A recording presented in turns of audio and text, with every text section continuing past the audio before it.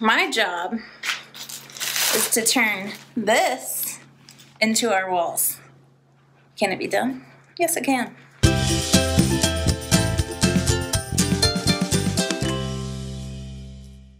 Let me show you what I'm doing to prepare for a few areas that we missed yesterday and how we're reusing things that fell on the floor. So this is a patch of leftover cob that fell while we were troweling it on. I just swept it up off the floor into a pile because I knew I could try to reuse it. And I've just rehydrated it here in this bin. And that is what we're going to use specifically in this spot right here. Finally figured out how I want this bottle area to look. And it's gonna look like the bottom here so I just need to do the top section. And also Jonathan really wants to have this mini split area done this weekend so that when we hook up all the other equipment we could possibly even hook up the mini split. So it is time to get muddy. There's dirt on my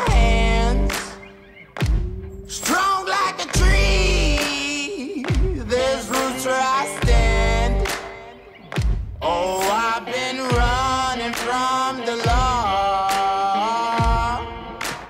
Hope they won't shoot me down soon.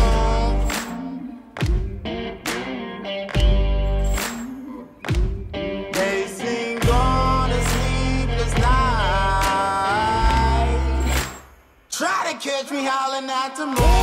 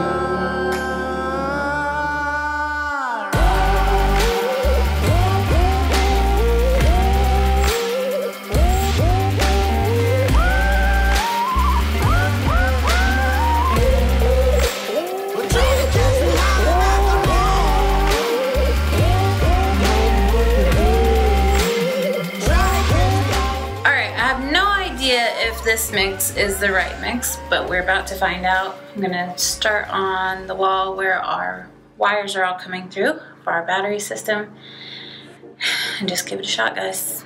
I hustle and motivate. Follow me, I know the way. Grind hard on them every night and day.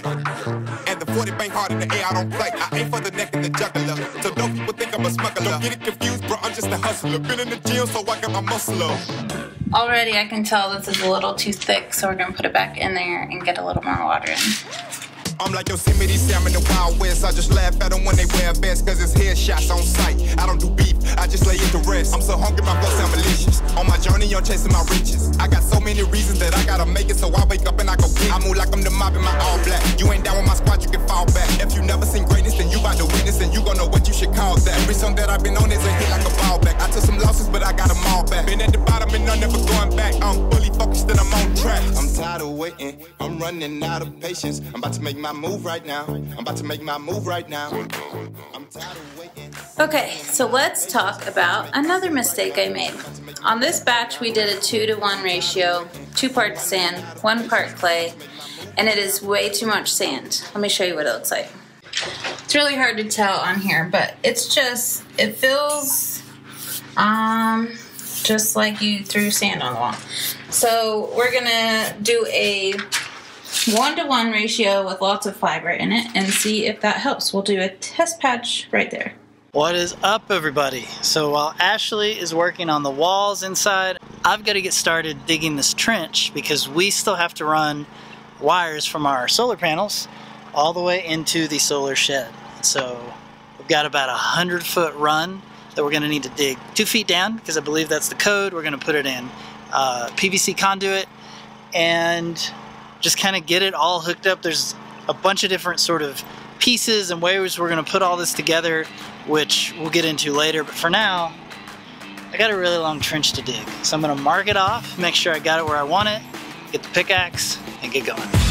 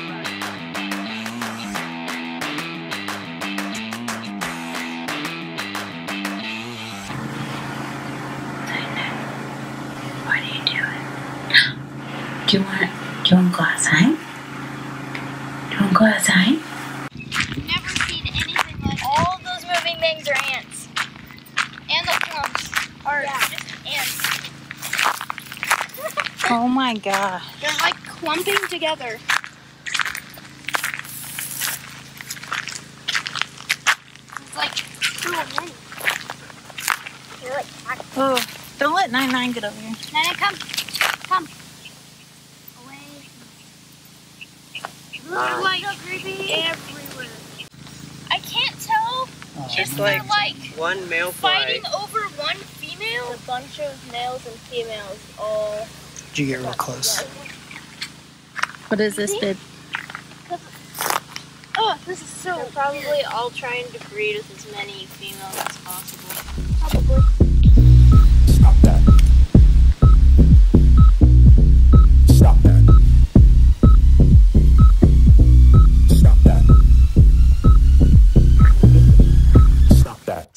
Drama continues, guys. Let's take a closer look at what's happening. On this wall back here, we did a two part sand, one part clay. We added in toilet paper and a tiny bit of straw. A lot of toilet paper because that's the main fiber we're using. And you can tell it's very sandy.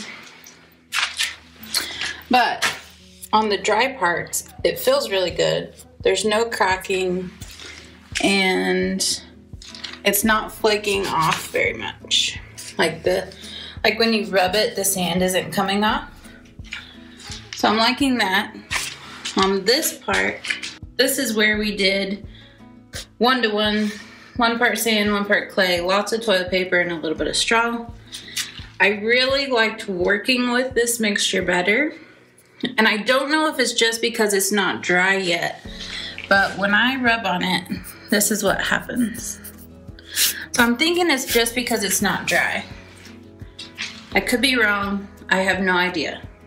If anybody else knows, we'll leave a comment below. So the next step in trying to figure this wall plaster out, I'm going to be doing this mixture again, the one-to-one ratio with the toilet paper and a little bit of straw. Because today is Friday, which means our guests are supposed to arrive tomorrow, and this wall's not ready, nor is the floor. We may have to figure out something else to do about the floor in this section, or I, I don't know what we're gonna do, honestly. It's just not done. It's not ready, but it needs to be at least partially ready so that we can start hooking up our power. I don't know what we're doing, guys. I just, I'm just trying to figure it out. I'm just trying to figure out what I'm doing wrong, or if it's just that it's not dry. I don't know.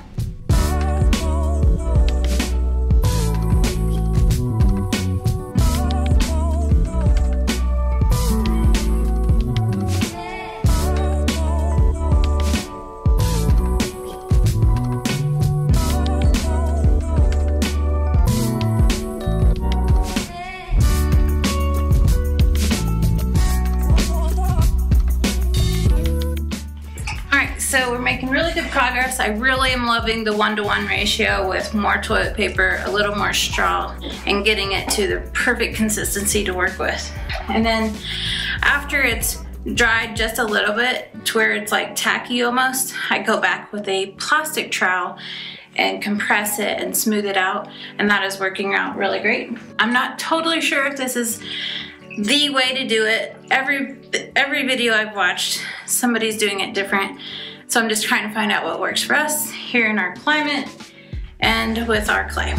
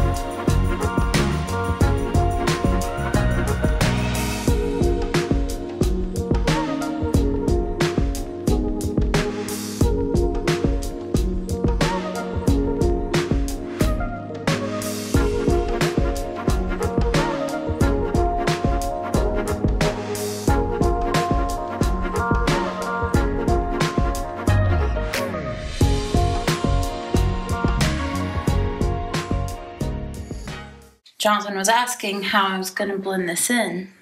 So I'll show you too. First I wet it down. This is a coat I did last night and then this is what I did this morning. So I'll show you what I do. Hopefully it works.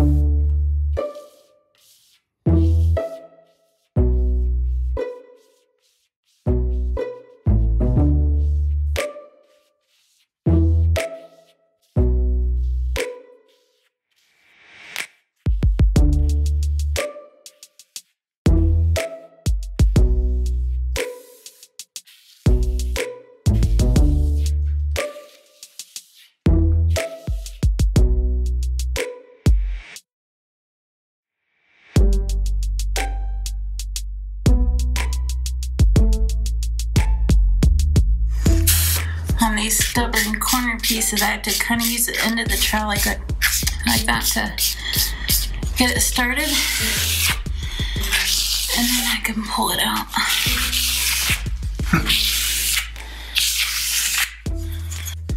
when I have like such a drastic difference here, Uh, it's a little different. I gotta kind of mess it up even more.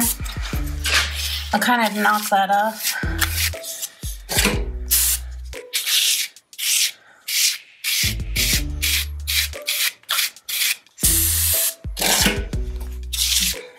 Can come in and smooth it out.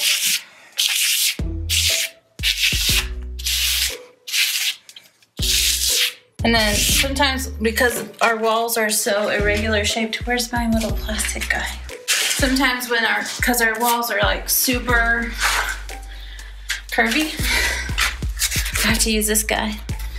Little plastic lid and I'm able to get in more weird curves that way and really blend it in and act as that plastic trowel.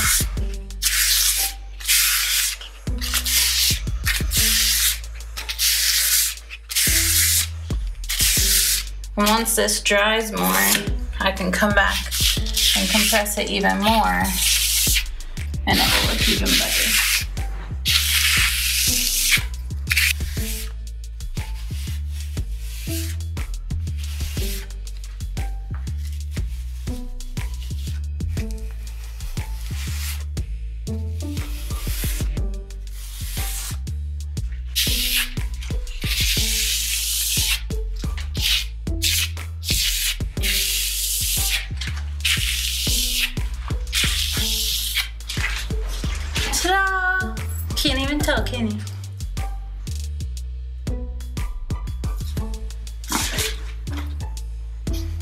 Guys, so this trench has turned into a multi-day project. Uh, as you can see, it had to go from solar panel array all the way to the shed, and that meant a nice 90 degree there to go up to the holes back there. But we also need to run power so that we can plug up our Airstream and run our air conditioner all the time. So uh, we've designated this as kind of a junction point. Also, the power for the house is going to junction right there. So we're going to get some sort of uh, covered box to sort of just protect all those and make it easy to get back to because we aren't running the house today. So we'll probably run that wire um, into like a sealed box and just come back later and hook it up and keep going. But we're going to set up a 30 amp plug over near our water pump kind of see where that the trench goes and then we're just going to run a long RV extension cord because the Airstream is not going to be there for too much longer because that's kind of where our house is going to go. So we don't want to, to dig a huge trench and run like really expensive cable two feet underground because that's all going to change really soon. Um, so anyway, that is our temporary solution. We are finally almost done getting all of this down to two feet. We're gonna have to dig out a little bit more where that junction is, go get a few more boxes and stuff. And that trench is still only like a foot. Boo. So that's where we're at. I'm tired of sweating and aching from digging multiple hours a day, but we're almost there, and then we can start running those wires and putting the conduit in and sort of getting everything in place. So we're getting there. We're getting there.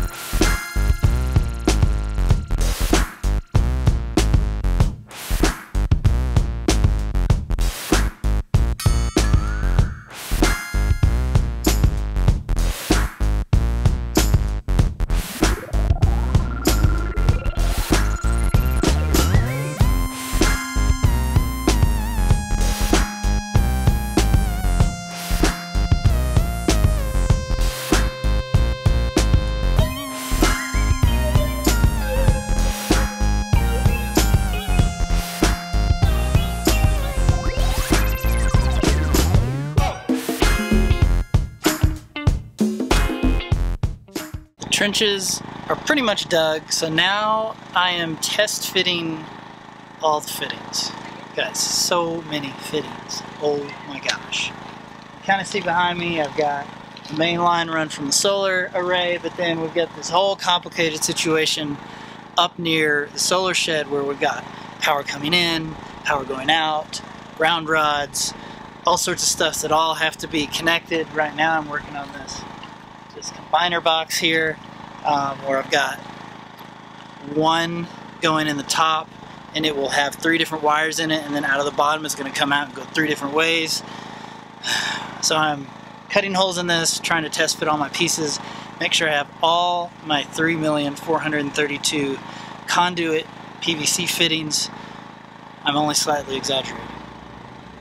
Anyway, that's where I'm at because I don't want to get into the middle of this install and find out that I'm missing a piece. It'll, it'll probably still happen, let's just be honest. But I'm to do my best to make sure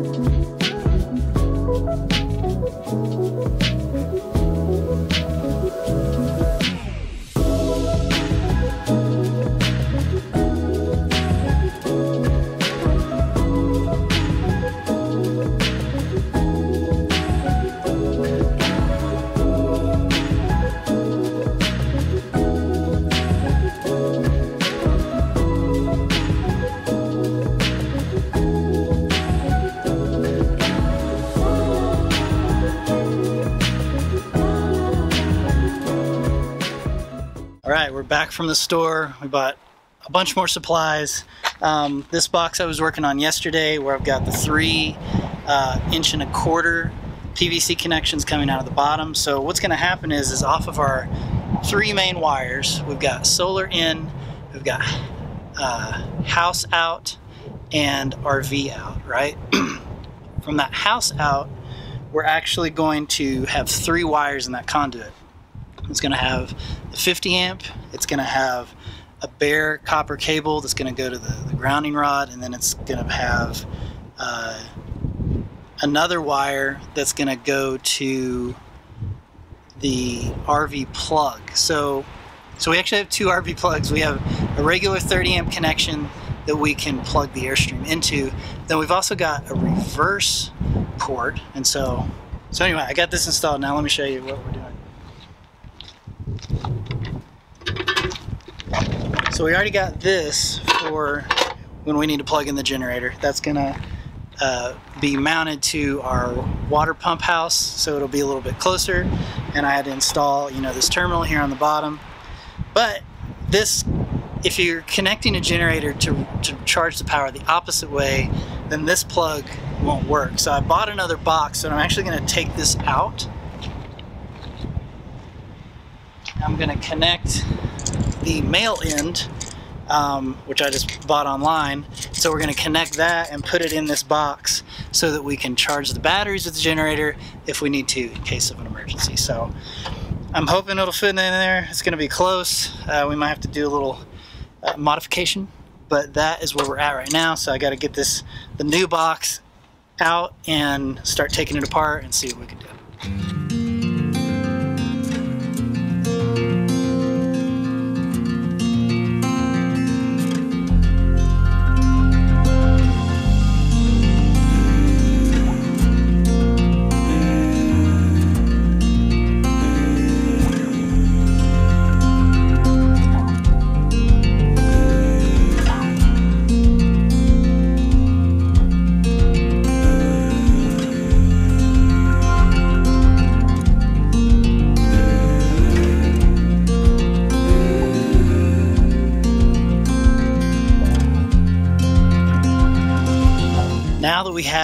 Of our boxes sealed with their pipe adapters, it's time to start working with our Unistrut. So I got a uh, just a regular piece of Unistrut. We got some uh, three inch U-bolts. We're gonna use that to uh, mount a few frames here to the solar panel array so we can mount our combiner boxes. Combiner boxes.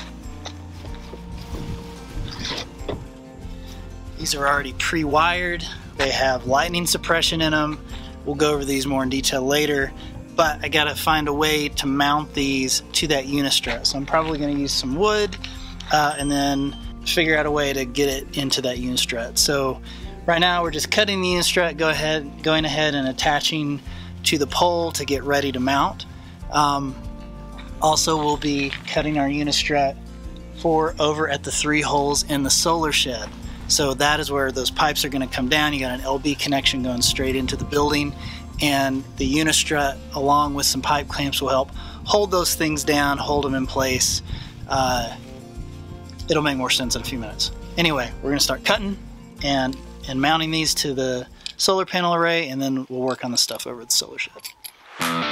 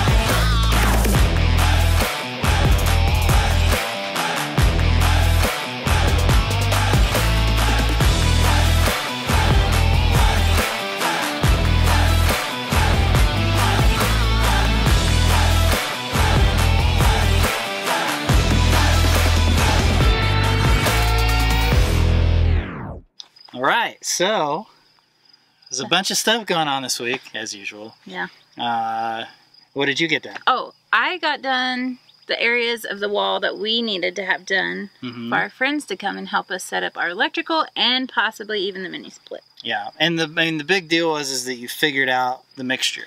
Yes. Yeah. The one to two mixture did not work so great, but the one to one did. We figured out the right consistency consistency Consistency. with the toilet paper and the straw and pulling it at the right time. And it looks so good. it does. Can I just tell you how good it looks? Because it looks amazing. the wall? Mm-hmm. it really looks good. It does. For reals. Yeah. Okay. Then Me- what did you do, babe? I trenched and trenched and trenched and trenched. With and Adelaide. trenched. With Adelaide, and Jet helped a little bit. Mhm. And so we got all the trenching done. We dry fitted pretty much all of the conduit, and we got all the boxes set up, the RV, like the 30 amp plugs, and then the combiner boxes. So many fittings. Oh my gosh. Um, Mm-hmm. Yeah. But we got all that set up, and that's pretty much it. And that Yeah. means that we, and then we were we were gonna try to run the wire, but then it rained Yeah. and rained and rained and, And rained filled your trench. And filled my trench.